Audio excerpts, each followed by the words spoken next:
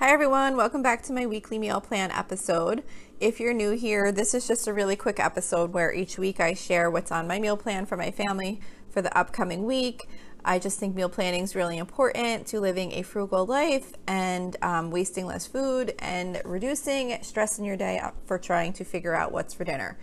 So, um, my meal plan that I share here is on my blog post, um, or there's a blog post for the meal plan um, each week, which is you can find any links to recipes that I mentioned in this meal plan. Um, that can be found at lolasfrugallife.com. I do rotate my meals on a regular basis, so you're not always going to hear like new recipes every week. Um, and I do try and throw in something new here and there, but my main priority is just having a plan in place so that I know what I'm cooking. And um, I try and kind of keep it, my meal plan really simple. So I do rotate things frequently. So this week's meal plan starts on Saturday, December 4th. So for Saturday, I am making a recipe called My Chili. It's from allrecipes.com. And I honestly, I can't remember if I've made this chili before, but it's sound it's got really good reviews and it sounds like it's really easy to make. Um, it's just like your basic chili recipe with ground beef and beans and tomatoes and things like that. Um, so I'm going to give that a try and see how that comes out. And then on the side, this is kind of an un unusual um, combination, but I'm going to make bow tie primavera, um, like a pasta dish on the side with the chili. That's from delish.com.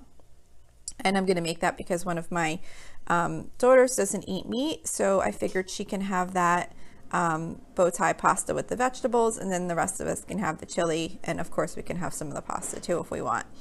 Um, for Sunday, I actually don't have a meal plan because we're going to be going out to dinner for my son's birthday. So whenever we are ordering out dinner, I don't have a meal plan to share, which is which is which is very infrequently. We pretty much only go out to dinner for birthdays and things like that. Um, but this is my real life meal plan. So since I don't have a meal planned for that day, I don't have one to share. For Monday, we're going to be doing hamburgers. Um, we do hamburgers every other Monday. So the hamburgers, I don't have a recipe to share um, with you. I pretty much just take ground beef and make it into patties and cook them up. Um, I'm also going to be making homemade black bean veggie burgers, which is from allrecipes.com for my daughter that doesn't eat the hamburgers. And then I'm also going to be doing oven fresh seasoned potato wedges, which is also from allrecipes.com. Those are really good, um, easy potatoes to make in the oven um, while I'm cooking the hamburgers on the stove top. So that's going to be for Monday. Um, for Tuesday, I'm going to be doing sheet pan chicken fajitas. We rotate through, I think I have about five recipes now, um, like Mexican theme that I rotate through on Tuesdays. So this week's going to be the sheet pan chicken fajitas. That's from foodnetwork.com. And that's just your basic sheet pan um, fajita recipe. You know, it's like the chicken and the um, peppers and onions and some uh, seasoning. And then I'm going to make quinoa and black beans from allrecipes.com as a side dish um, for us that are having the fajitas, and then also um, for a main dish for my daughter that doesn't eat meat. And then I'm also going to just be doing a Caesar salad um, on the side, just the type that you buy at the grocery store that um, comes with all the toppings and everything in the bag. For Wednesday, I'm going to be doing fried flounder. Again, this is another one I don't have a recipe for, but I just buy the frozen flounder, um, like the individually um, frozen pieces um, from BJ's. It's like a wholesale club, like Costco or whatever. And um, I just bread it and fry it. And then I'm going to be trying a new recipe to go with it as a side dish this week, which is called mushroom rice. And that's from budgetbytes.com. It's um, budget, B-Y-T-E-S.com. And it just, it, it's basically like um, rice with um, butter and garlic and mushrooms and some other seasonings. So that looked like it would be a good side dish to go with that. And then I'm also just going to do a bag of frozen vegetables. I usually keep some of those like steam fresh type um, vegetables in the freezer that I could just throw something in the microwave real quick. For Thursday, it's going to be breakfast for dinner. I usually do either breakfast for dinner or um, soup and grilled cheese for dinner that night because that's when I go grocery shopping. So I try and keep the cooking um, pretty quick and easy. So for Thursday, we're going to be doing turkey bacon in the oven, which is from brendid.com. And it's just telling you how to cook turkey bacon in the oven. You could do it with regular bacon too.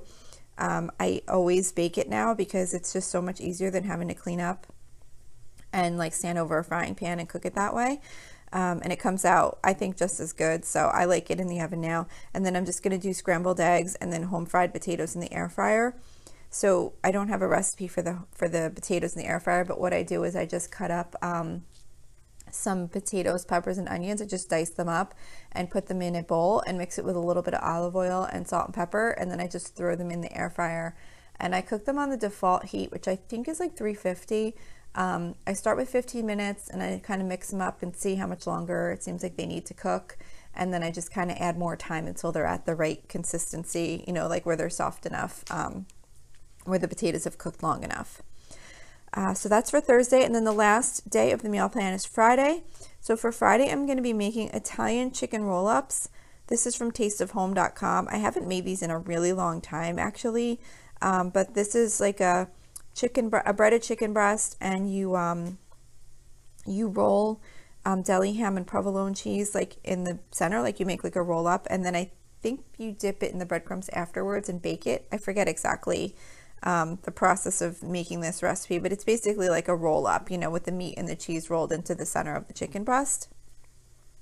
And then as a side dish, I was going to do cheesy instant pot rice and vegetables. That's from the saltymarshmallow.com. I've been making this um, somewhat frequently now. Um, it's a pretty quick, easy rice um, recipe to do in the instant pot, and it's got the vegetables in it and cheese and everything else. So it makes like a decent side, like a substantial side that my daughter can often just kind of eat that mostly for her meal, the one that doesn't eat the chicken. So that's it for this week's meal plan. I hope this was helpful or inspired you to get your meal plan together. Um, don't forget, you can always email me with any questions or suggestions at lolasfrugallife at gmail.com. You can follow me on Instagram and Facebook at lolasfrugallife. Uh, as I mentioned before, you can find um, the blog post for this meal plan at lolasfrugallife.com, and you can also find the blog post for all of my other regular um, Monday episodes on the website also. We have a private listeners group at facebook.com slash group slash Lola's Frugal Life. I'd love to have you join. And if you enjoy the show, please make sure to subscribe on Apple Podcasts, Spotify, YouTube, or wherever you listen from. And I would love it if you would screenshot the show and tag me on Instagram so I can see that you're listening. Also, if you can take a couple of seconds to rate and review the podcast, that would be really helpful to me. Those ratings and reviews are what allow other listeners to find the show, and I'm really trying hard to grow my audience. So I would really appreciate if you could take a couple of seconds to do that for me. That's it for today. Thank you so much for listening, and I hope you have a really awesome day.